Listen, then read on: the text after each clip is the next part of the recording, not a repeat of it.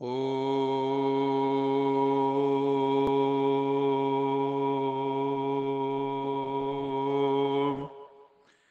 शान्ति।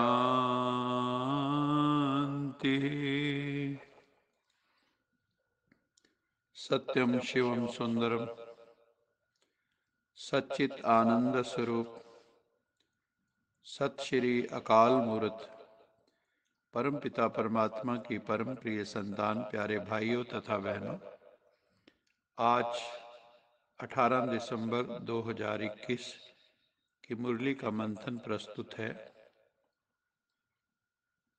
आज बाबा ने कहा, मीठे बच्चे, पढ़ेंगे, लिखेंगे तो बनेंगे नवाब, रुलेंगे, पिलेंगे तो होंगे खराब।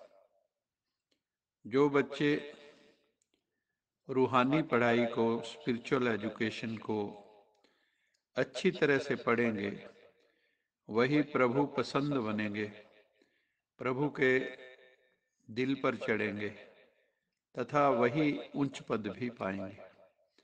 इसलिए दिल लगाकर ये रूहानी पढ़ाई पढ़नी है। जो बच्चे रूहानी सेवा में आगे बढ़ना चाहते हैं उन्हें यह विशेष ध्यान रखना है कि कभी भी देह अभिमान ना आए। देह अभिमान से बॉडी कॉन्शियस से, अहंकार से डिसर्विस हो जाती है और इंसान अपने को बहुत बड़ा समझने लगा है।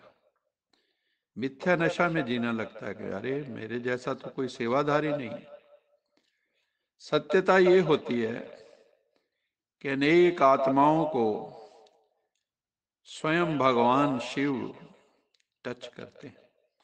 और हम समझते हैं कि हमने सब कुछ कर दिया। ऐसा नहीं है। तो इसलिए ये भूल नहीं करनी है, बल्कि हमें देह अभिमान छोड़कर देही अभिमानी बनना है।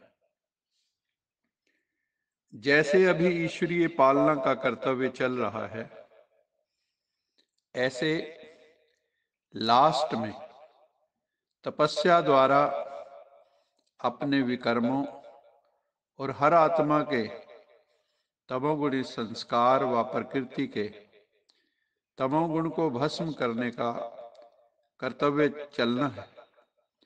इसके लिए क्या करना होगा? सदा एक स्थिति के आसन पर स्थित हो, अपने तपस्वी रूप को प्रत्यक्ष करो। आपकी हर कर्म इंद्रिय से देह अभिमान का त्याग तथा आत्म अभिमानी बनने की तपस्या प्रत्यक्ष रूप में दिखाई दे। हमेशा एक बात याद रखो, हम गॉडली स्टूडेंट हमको स्वयं परमात्मा शिव पढ़ा रहे हैं। परमात्मा को हमें पढ़ाकर विष्णुपुरी का मालिक बना देते हैं। अगर ये बुद्धि में रहे तो हमें बहुत खुशी और नशा रहेगा।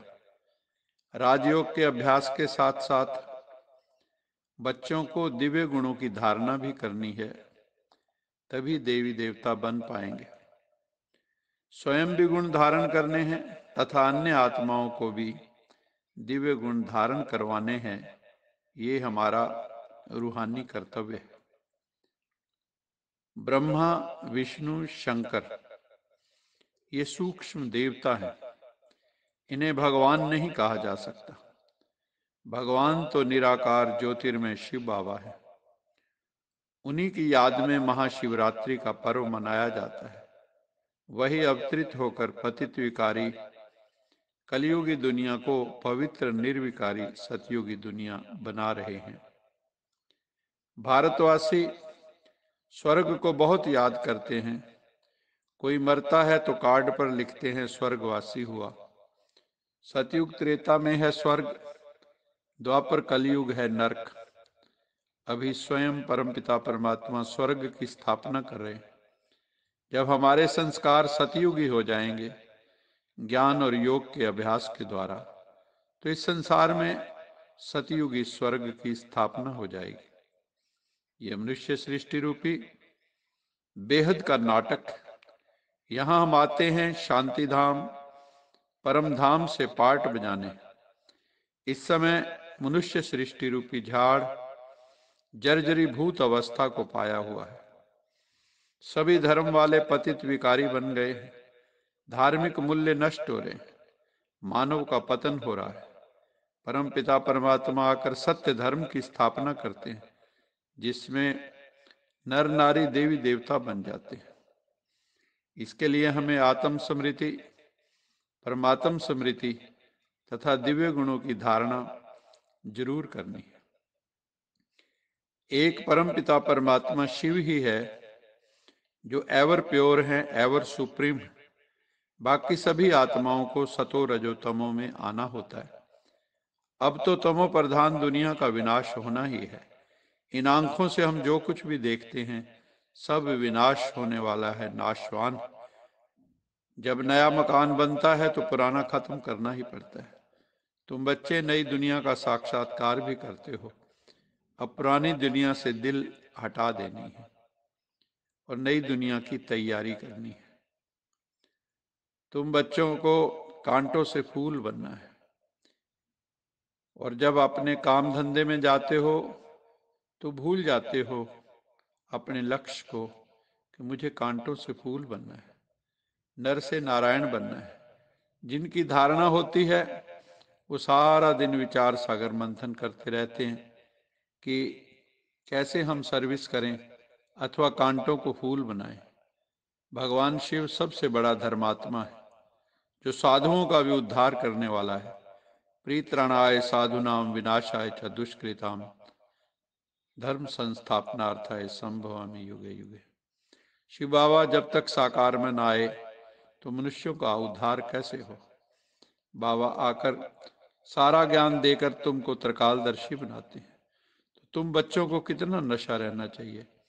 बाबा बहुत युक्तियाँ बताते हैं कि ऐसी ऐसी सर्विस करेंगे तो बहुतों का कल्याण होगा।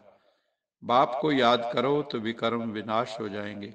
और सुदर्शन चक्र को याद करो तो चक्रवर्ती राजा बन जाएँगे। औरों को भी रास्ता बताना है। तुम बच्चों का भी अंत में प्रभाव निकलेगा। अभी तो बच्चों की अवस्था स्वयं ही नीचे ऊपर होती रहती है। कुछ परीक्षाएँ आती हैं तो बच्चे मुरझा जाते हैं। तुमको भी फील होता है कि आज हमारी अवस्था याद में टिकती नहीं है, दशाएँ तो बदलती रहती हैं। बीमारी भी तो कर्म भोग है, जो सर्विस नहीं कर सकते। अभुल्ल तो अंत में ही बनेंगे, परंतु सदैव यह नशा रहना चाहिए कि हमको परम पिता परमात्मा पढ़ा रहे हैं, भगवान भगवती बनाने के लिए। बाबा ने समझाया है, बड़े आदमियों को बहुत युक्ति से समझाना है। उन्हों से ही आवाज़ निकलेगा और वाह वाह होगी, परंतु बच्चों को भी योग की पावर स्वयं में भरनी है।